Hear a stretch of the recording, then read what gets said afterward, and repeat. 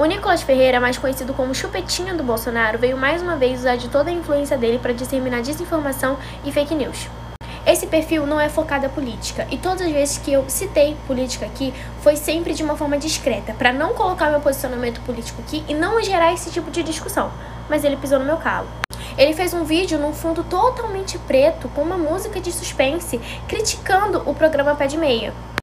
Eu sou uma das milhares de jovens que recebe o pé de meia, é, que é uma ajuda do governo para você estudar.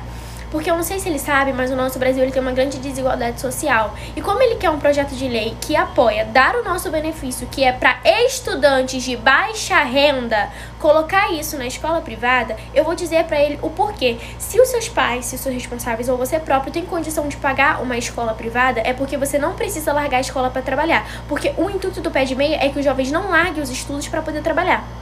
O projeto de lei pelo que foi criado pela Tabata Amaral, que é o pé de meia, que foi aprovado pelo governo do nosso presidente Lula, ele nunca foi apoiado pelo PL. Nenhum candidato do PL nunca abriu a boca para falar bem do pé de meia. Pelo contrário, os que abriram a boca sempre foram para criticar, porque eles acham que é desperdício dar dinheiro para os jovens, que é o futuro do Brasil. É desperdício investir na educação, mas não é desperdício comprar leite condensado para o quartel. Não é desperdício comprar não é desperdício enfiar todo o nosso dinheiro público, não dos empresários. O Nicolas Ferreira não abriu a boca um minuto sequer enquanto o projeto de lei estava rolando, enquanto tudo do pé de meia estava sendo feito para apoiar o programa e falar que realmente tem que ser investido nos jovens, tem que ser investido na educação. Ele nunca fez isso. Mas para falar mal, é claro que ele ia abrir a boca. É evidente.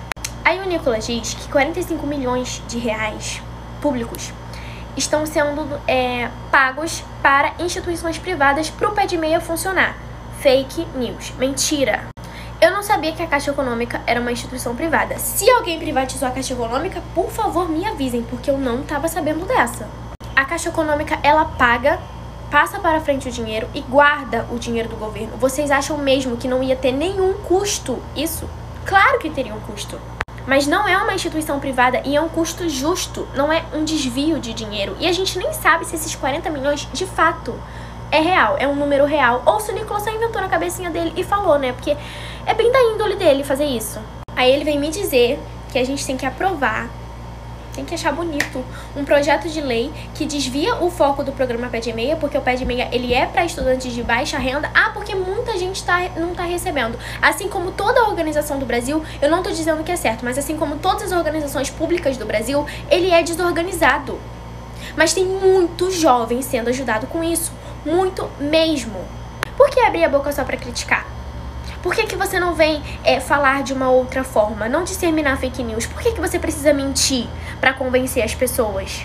Eu passo na pele o que é ser ajudada por esse programa.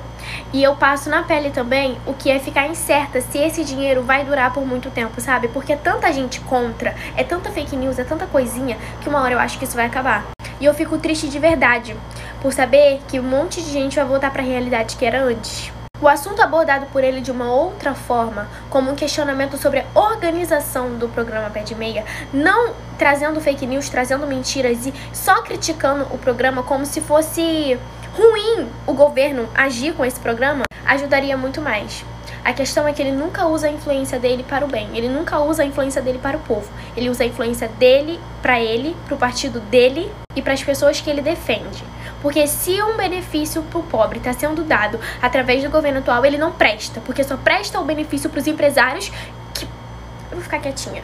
É isso, espero que ninguém caia nessa fake news do Nicolas e que ninguém fique com esse pensamento tosco de que é um desperdício, que o, o dinheiro público está sendo desperdiçado por investir em educação em jovens.